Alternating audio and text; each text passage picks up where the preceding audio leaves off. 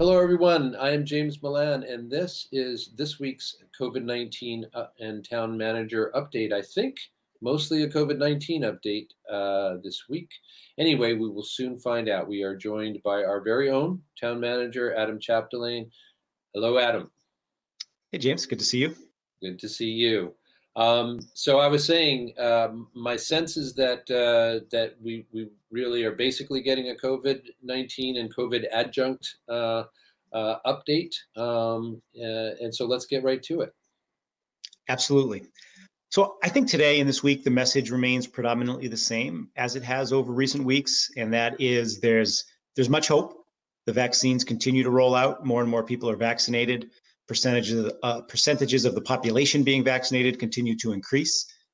But unfortunately, on balance, our transmission rate is actually slightly ticked up this week from 1.2% to 1.4%, our positivity rate, uh, I should mm-hmm. say. So the virus is still out there. It's unfortunately trending in the wrong direction.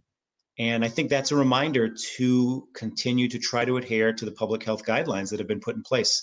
Continue wearing a mask, continue social distancing, continue limiting gatherings with people outside of your household uh, unless you're vaccinated and, and they're vaccinated. Uh, because the, the virus is still there the variants are definitely there.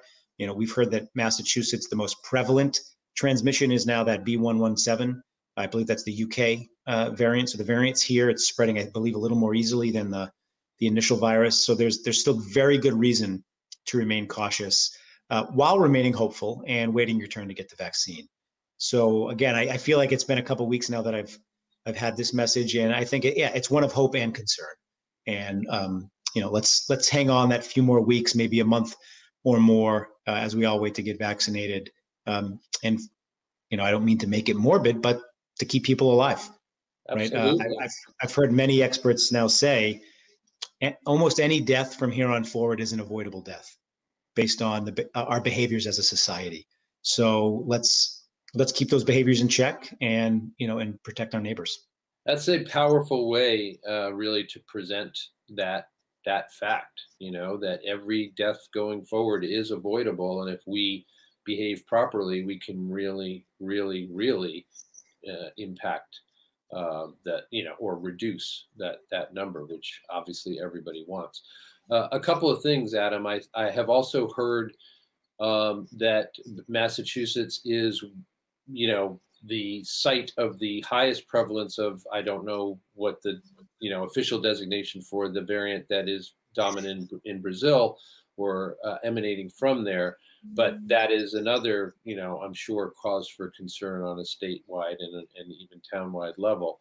Um, and then secondarily, um, I something that you and I, it's been a theme of our conversations is we have praised um, legitimately and, and deservedly so praised the Arlington population for its discipline uh, around observing the protocols that you mentioned uh, virtually each and every week.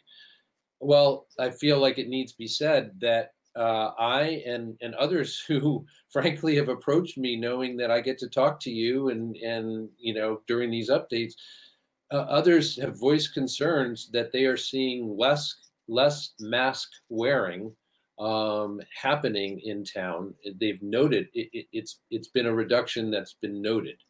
Uh, so I don't know how dramatic that decrease is, um, et cetera, but people are concerned, and I think that again we need to um, listen to what you're saying, yeah. um, and and just stick it out. It's so very very tempting with the beautiful weather, with things starting to open up, with the news that we hear, et cetera, et cetera. I, I get it, I think, as, as much as anybody. I'm sure you do. But boy, people are, it does feel, even in our town, that people are starting to just lapse around this. Yeah. I mean, I feel like I do, I agree on all those points, right? I think Arlington has been an exemplar in terms of our residents' behavior over the course of the past year and more. Uh, but I also see in Arlington and it, and it's not Arlington specific. Really, everywhere I, have been, uh, you know, whether I'm in my car or walking, it, COVID fatigue is setting in. Right, there's more, you know, more of a chance that the mask is on the chin or that it's hanging from your ear if you're not near anybody. And you know, I, I'm not saying that if you're not near anybody, you know, do you have to have it up constantly? you know, I'm, I'm not, I don't want to push that on people. But if you don't have it on, you're less likely to react and put it on when you need to have it on. So yeah, I, am glad you highlighted that because uh, it's not, you know, I, I, think Arlingtonians deserve to be recognized for their commitment over the past year. Uh, but I think we can all serve to be reminded that, uh, you know, as we both have been saying, it's not over. Um, keep that mask on, protect yourself, protect others.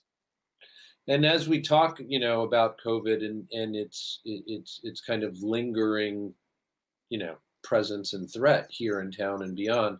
Um, I'm mindful of a couple of other things, you know, federal funding around uh, helping with the with local efforts. Where where where does that stand, for instance? So, as I think has now been pretty widely reported and publicized by the town, we expect to receive a pretty significant amount of money from the American Rescue Plan uh, Act that was passed by Congress and signed by the president. Uh, we expect to receive approximately $36 million that we believe can be expended in four different buckets. Um, the challenge is that those buckets right now are about one or two sentences apiece, and we're wait, still awaiting further guidance from the federal Department of Treasury on exactly how we can spend the funds. Mm. We was on a call with Senator Warren and her staff last week, and it was asked of her by the mayor of Newton. Um, you know, we're hearing that we're not going to get the regulations until the beginning of May. Is there anything you can do to help it help them come sooner?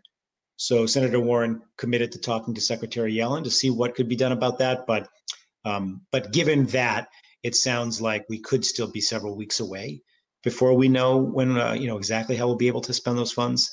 So I think the the message is we have good news. We we you know the the federal government did act to support local government across the nation, uh, but there's still a little bit of a wait and see to determine uh, exactly how we can utilize those funds. And we'll we'll remain communicative with um, both our elected officials as well as with the general public um, about what we believe uh, those funds will be uh, be able to be used for and how they can benefit Arlingtonians um, most appropriately. Yeah, I mean it's an enormous amount of money. It's an enormous program. It makes some sense, right? That that it would take some time, even yeah. after the announcement, or maybe even the availability of the funds, to figure out, you know, what the rules are going to be for, yeah. for distribution. Uh, anything else, Adam, that uh, you know, COVID related on the local front here? So, COVID related, I would say uh, we have a survey out right now, a consumer survey, where we're asking uh, residents of the town to tell us what they're looking for from businesses or what their comfort levels are um, in patronizing certain businesses, because we want to be able to then, in turn, help the businesses best serve their customers. Um, we've had an economic development recovery task force in place for the better part of the last year, helping businesses, working directly with businesses in the Chamber of Commerce to help them through the pandemic. And now we very much want to make sure that businesses are uh, staying on their feet or ready to get back on their feet as uh, hopefully the pandemic lifts over the course of the summer. So this survey is available on the town website. It's open uh, until April 15th, so you have about a week to complete it. And we'd really appreciate people taking the time to uh, to fill out that survey. Um, one additional non-COVID note I would mention is that blue bikes are starting to be repopulated in town uh, as of today. Um, I don't think they'll all be back today, but starting today and over the course of the next several days, blue bikes will be back in town. So if you have the chance, uh, take a ride. I think it's a great amenity and asset that we now have in town, and I hope people are able to utilize it. Yeah, and you're certainly uh, you know, advertising that, so to speak, or or or announcing that on an appropriate day, as folks can see from uh, my backyard and in in yours if you're looking out the window. It is a gorgeous day. We got a few more coming up here, and uh, yeah, we're just starting. You know, what is for many of us our favorite time of year. So get on a bike and uh, and and start to enjoy life in that way. That's that sounds good. Yeah, well said. Well said. All right. Well, thank you very much. If there uh, want to just double check, we're we're we we uh, there's nothing else that uh, you want to share with us at the moment. No, that, that that is a wrap for me today. Thank you. All right. Great. And we made it in um, under 10 minutes, a magic number as far as some folks in town hall are concerned. So hopefully they'll be happy with us. Um, I have been speaking um, with Adam Chapdelaine, our town manager, for this COVID 19 town manager update. My name is James Milan. I appreciate Adam being here. We thank him for that, and we thank you. And we'll see you next time.